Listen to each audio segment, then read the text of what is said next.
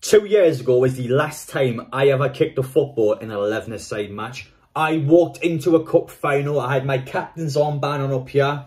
I walked out of that match with silverware. We won 5-2 and I took that trophy home. And I always felt like at that point, that was the moment where it was time to put the football down, take those boots off and to walk away from the game. I did just that.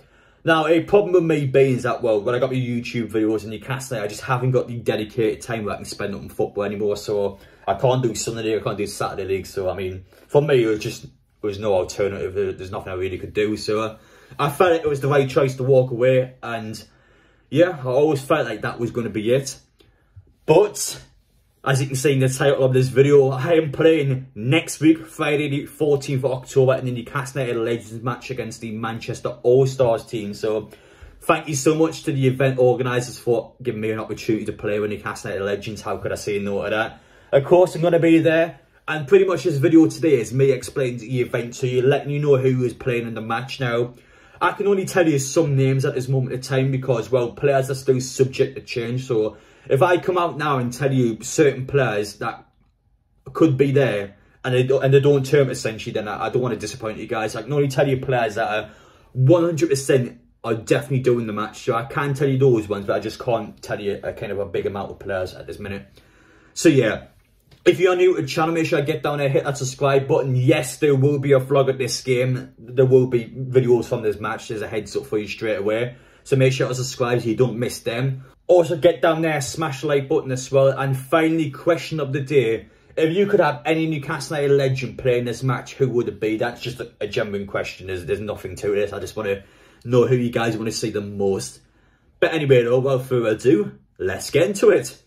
First off, I'll give you an overview of the event itself. We get through all the general information first. Where is it at? What time is it, how much it's going to cost. We just get that out of the way first, and then afterwards we'll talk about the more exciting part of what legends are going to be in attendance. So, as I said before, Friday the 14th of October is the day. That is two days before Newcastle play Manchester United away. So, it's almost like a Manchester theme weekend, which is I think a really good idea because, well, we're going to beat Manchester on the Friday and we're going to beat Manchester on the Sunday. So, I mean, what a weekend for Newcastle that is. I can't wait for both of those games. I can't wait to see you guys there. I can't wait to be at the game on the Sunday. It's just an all-round great time being a Newcastle fan. It's just as well the one year anniversary after the takeover. It's a week after that as well. So just remember, on top of that, we support a club that is on the up. No longer stagnated, no longer in the in the crap. We are a team on the up and it's only going to get better and better.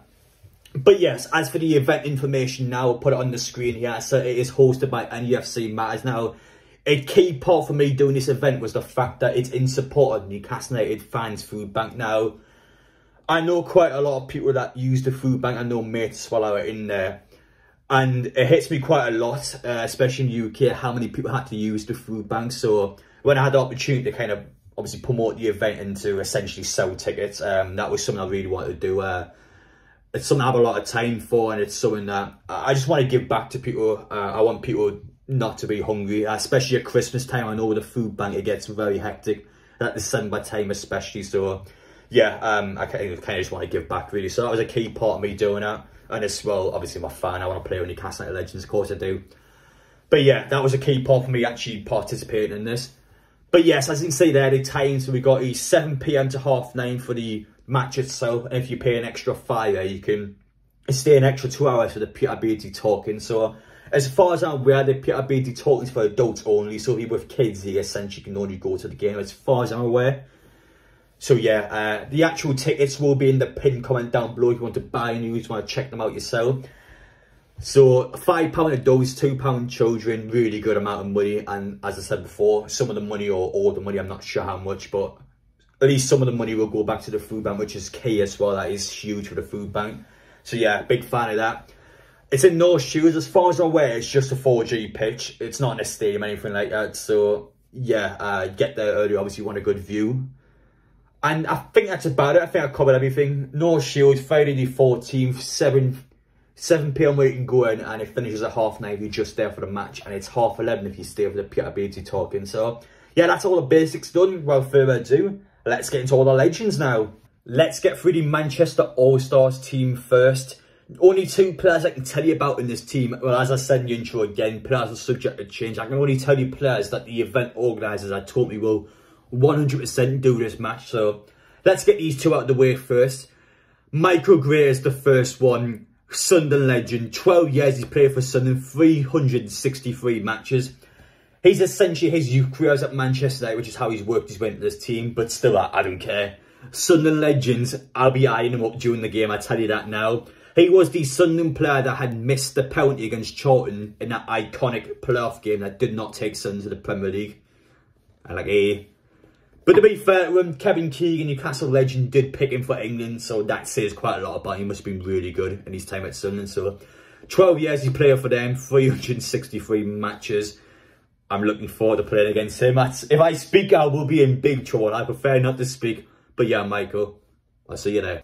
Russell Beardsmore is the second player. Manchester United, he spent seven years at that club. He was around in the class of 92 and eventually went to Bournemouth afterwards. So there's not much I can really say about him. At Manchester United, he was kind of a rotation player for a bit before eventually being left out of the squad for better players. Obviously, during 1992, we just had so many good Manchester United players. I mean, it's just one of them ones, really. But yes, he's the second player that's going to be there. But anyway, now for the big ones. Let's get for the Newcastle ones now. Now it's time for the big ones in the Newcastle Legends team. I've been taught by the event organiser to tell you these following five players. So these five players are 100% playing the match. I'm allowed to tell you these ones. Now let's get the obvious one out of the way first. Peter Beardsley, obviously he's going to be there. There's quite literally a talking from afterwards. So of course he's going to be in attendance. What do I say about Peter Beardsley that hasn't been already? He is easily one of the best players that has ever played for this football club. Scored well over 100 goals for us in the midfield. Played for England in his peak at Newcastle. The guy's a living legend. What, what else do I say? One of the best players to ever kick a football for the black and white. And I can't wait to say once again, uh, obviously, if you watch my uh, Bournemouth vlog, I had a little interview with him on the channel and I mean you knew what I was so listen that was me planting the seeds working the team chemistry already so yeah I'm looking forward to seeing him once again but yeah that's the first one and the obvious one.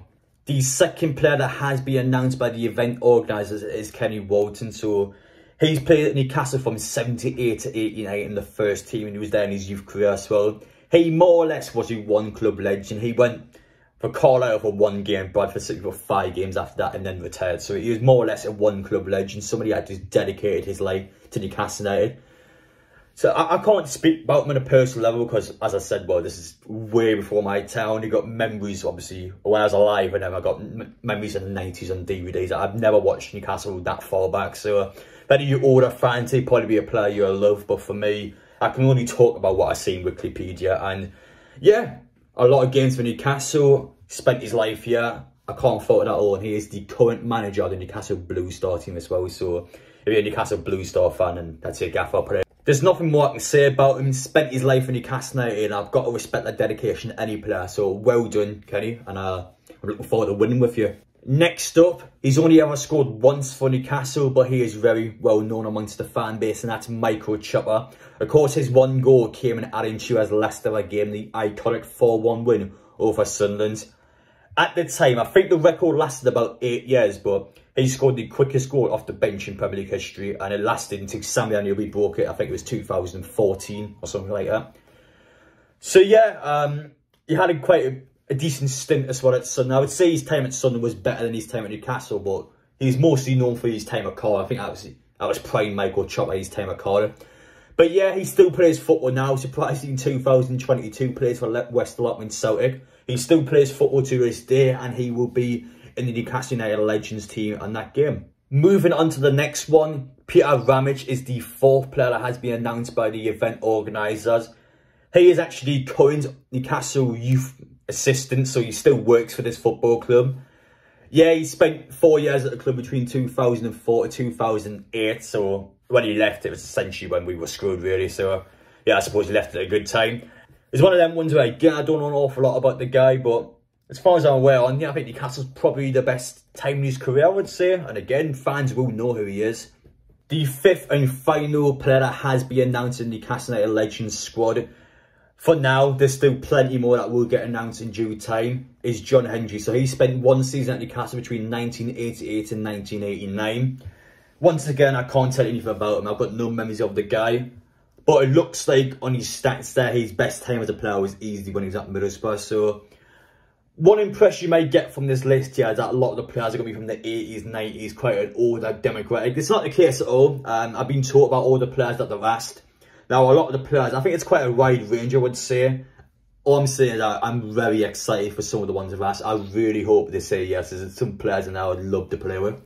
But anyway, I'm going to finish off the video now. It's been going on for quite a while. If you want to ask me any questions about the event, feel free to put it down in the YouTube comment section or get them me on Instagram and Twitter. I'm, I'm, probably better replying in the in the private messages, I would say. I just I don't know why, I'm just seem to be a bit better on there. But I promise I will get back to all you guys. It's something that I'm really dedicated to. I, I want to see everyone enjoy themselves. Again, the food bank, it's something I really care about quite a lot. I just want to try and make as much money as possible for the food bank and just help them out because, I mean, it just, it just, it's a bit shit really, I would say. In this case now, with Christmas coming around, just in general in the UK, there's far too many people that need the food bank. It's just, it's not good enough. But yeah, uh, that's about it from me now. You should be very excited for this event. I, I can't wait to play in it. I can't wait to see what else is going on. Obviously, there are celebrity guests in there as well, which I guess I'm classed as a celebrity, which is kind of how I'm in the squad. I'm, I'm not Newcastle ex-player, I'm aware of that. But yes, uh, hope you guys enjoyed that. Quite a lot to get into there. Let me know your thoughts down below on the event itself. Will you be attending? And yeah, that's about it, guys. Take care, and I'll see you on the next one.